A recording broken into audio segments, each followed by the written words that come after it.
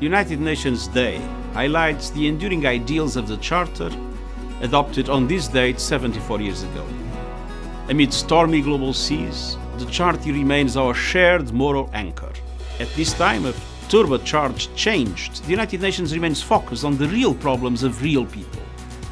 We are working for a fair globalization and bold climate action. We are pushing for human rights and gender equality and saying no to hatred of any kind and we are striving to maintain peace while bringing life-saving aid to millions caught up in armed conflict.